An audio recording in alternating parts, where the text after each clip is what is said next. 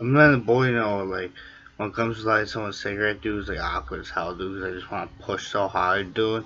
Like, dude, I'm sure you guys are fucking off and picking cotton for like 200 years, dude. That'd fuck you up, dude. Like, it just, just makes you a good player, though. Like, that's jazz music right there, dude.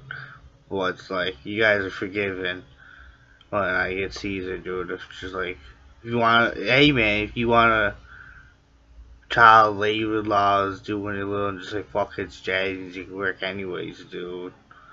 Till you just really can't do it anymore, dude. That's fine. That's what I did.